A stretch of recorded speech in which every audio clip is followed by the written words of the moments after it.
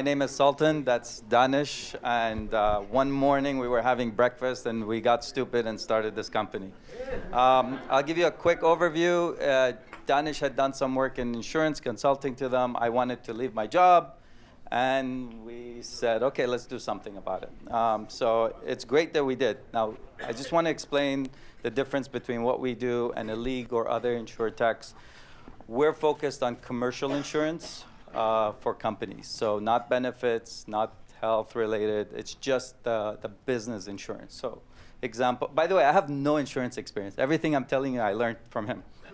Um, a general liability policy when you start a business, or errors and omissions uh, policy, or uh, directors and officers when you raise money. Whoever is raising money, you'll need that.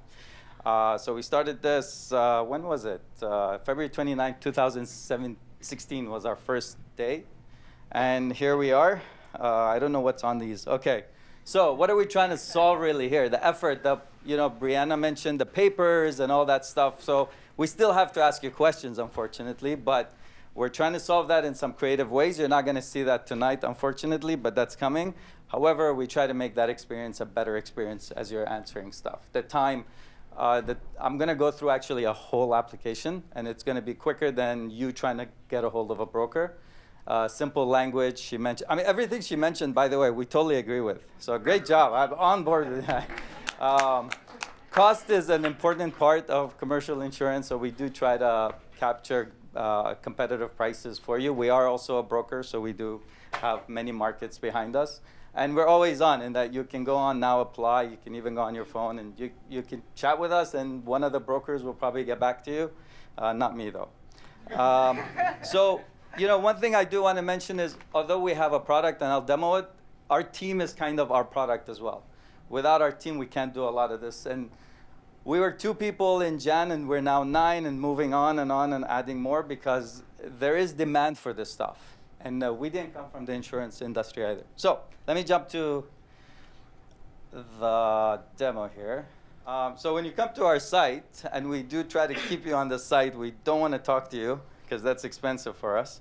Um, you know, the first thing is, hey, what do I, what do you do? So startup, and what we're trying to do is, as you type, kind of give you the options that are available, and hope you pick one of these. Uh, we do have other, but that's complicated. Um, so let's say, oh, you're a SaaS, and did it? Yep. Uh, that's uh, unfortunately the fact of life in every startup. Uh, so then uh, we, we just kind of ask you what, what you're looking for. Uh, now, in this case, if you get the GL, you, general liability, you have to get the errors and omissions. It's just part of the package we have. Uh, directors and officers, great to have, but in this case, I'm leaving it out it's for simplicity. What we try to do is, uh, so we ask you the question. We have our broker's contact info up there. We don't have his phone number after hours just because you know he gets calls at midnight if we have that. And then we try to give you a sense of where you are in the process. All right, so I'm going to quickly just answer a few of these. Uh, these questions are, are required. We've, we've, we've cut out a lot of the questions, but there's still some we have to ask. If you're in Canada, if you have, I mean, employees, that's an important part of this. If you don't, you know, that conditional comes, okay, tell us what you have outside. Uh, but let me just go, okay. So that guy at the top is trying to advise you because one thing we realize is people are calling us because they're unsure. When we ask what is your revenue, they try to be precise. You don't have to actually be precise. So we're trying to advise you as you go through it, uh, but we're still here if you need us. And if you click I need more help, the, well, it's not coming up. Why not? I don't know. But the intercom window will pop up and you can talk to us. Um, so let's do that.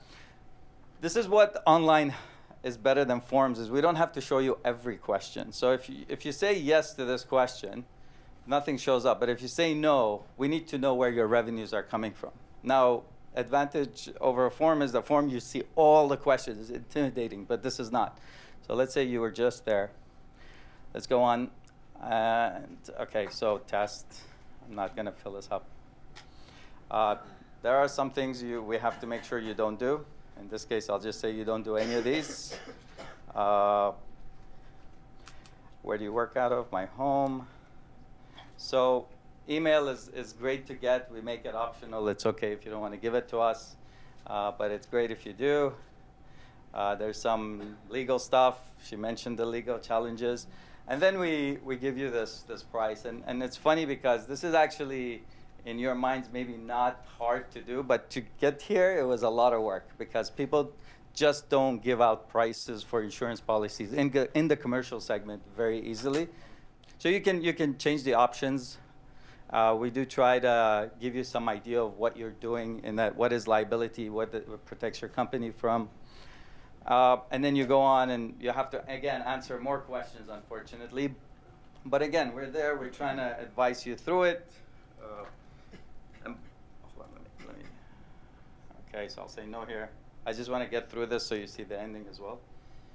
Uh, this is kind of, uh, we, do, we do this a lot, by the way, on the back, because we try to use a lot of information available, pulling and helping. So like when you try to put your address in, it does try to pre-populate. Uh, and, and we, we apply a lot of back-end information pulling as we're trying to get an idea of your business. I'll jump these optional ones for now to keep it simple. Don't you love this? Yeah. Unfortunately, it has to be there. Uh, so then, you know, we kind of have to review with you what you told us. Uh, again, we have to do these things. It would be great not to review it, but you have to make sure that they answered right and they agree. Um, at the end, what happens is, you know, you you know what you're buying, you got a price. Uh, you just gotta give us, so this is like really bad from a product perspective, right? My name, I already entered, it should be in here. Uh, we'll, we'll put it in eventually. But this is about uh, decisions, decisions, so pick the date you want it active, and we're trying to get a sense of where people are hearing about us from so that we can spend more on those channels. Uh, Got you got to agree to these before you can move on. You can pay for it. By the way, this is revolutionary in commercial insurance in Canada. Just so you know, like there there aren't many places you can do this, if any. Uh, but let's say you say, uh, you know what, I need help. Again, everywhere we're trying to make you not call us. Now, once once once you say have someone call call me, then fine. Okay, it's gonna do it. It's it's gonna ask you to share if you had a good experience. We, we have some masterpieces written by Danish about insurance. You should go and read our blog posts. Uh, but what happens with this is then the application goes into our system. The brokers see it. They quickly review it, and they send off that application straight to the underwriters, who then, because we don't right now have binding authority, but you don't really sense that. However, because we were we didn't want to, people who are applying to just be sitting not knowing what's going on, in the dashboards, you will see a status, right? And as our brokers are dealing with the underwriter, if, if there's anything complicated, the dashboard keeps getting updated. So you're, you're aware of what's going on. And, and uh, to the point of coming from other industries and applying experience from there, I mean, this was really from uh, the online e-commerce world where when they ship something, you can track it, you can see it. And in insurance, like you talk to your broker, they call you in a week or two. You don't know what's going on and uh, why. I, I don't understand why. But anyway, so we're trying to change that. Am I, done, am I on time? Right. Okay, so just a couple of quick questions. The other thing is we're just trying to make it fun. Like, you know, have nice little icons and, and colors and, you know, I haven't seen these things in, in the insurance world. Now, it's not hard to do, but again, as Brianna mentioned, you know, you have to go get permission, this, that. With us, it's like, let's just do it. What's the worst that can happen? You know, we'll have an argument. Okay, fine. You know, it's okay. Uh, all right, so I'm done. Ask questions. Sorry. You, sir, you wanted to ask your question? Thank you. Um, the uh, simple thing was uh, I had a quick eyeball at your list of things you're not doing, and that pretty much covers everything that would make worth getting the insurance. Uh, talk to the insurance guys. yeah, no, I mean really, like uh, if you're yeah. sitting in your basement yeah. I, doing none of those, then why would you even bother? No, those don't mean that you won't get insurance. All it means is that we possibly can't give you a price online, and that we might have to get more information exactly what you're doing so that then yeah. the underwriters can understand better. Yeah, it seemed to be quite exhaustive. You look carefully at that includes credit card transactions, oil, gas, and there seemed to be some kind of mechanical businesses, basically all the real world things. Yeah, you know, I mean, if you're doing a website, who cares? Say five percent of our customers have something in that list. Because it's adult entertainment, it's nuclear, it's rail, it's like this. I, I saw line items that were uh, Are you processing credit card transactions? Are you in oil gas? right. So, quite uh, like, and, and it was quite a laundry list So of. this is a small business geared uh, platform, yeah. uh, and very very few in Ontario, which we are in right now, are in that space. But I would say very few of our customers click something in there. Yeah. If you do, we have to take you offline. It doesn't mean you don't get it. Yeah, the the perception uh, I thought maybe that you drive off those, so it isn't really the five percent. Uh, in other words, like you don't see them because they say, "Oh, this is a dead end." Y- You know, the, the those uh, I interpreted it just just casually as being a Good feedback. yeah okay, because so you might detail it. You know what the the implication is of the legitimate businesses. You know, there were a whole pile, and I started thinking, what else is there other than mechanical things and, and credit card transactions? You know, I realized you could be doing web design, but you know that then you probably don't need it anyway. Okay. Get insurance for throwing this around. Come on, no more. Oh, there we go.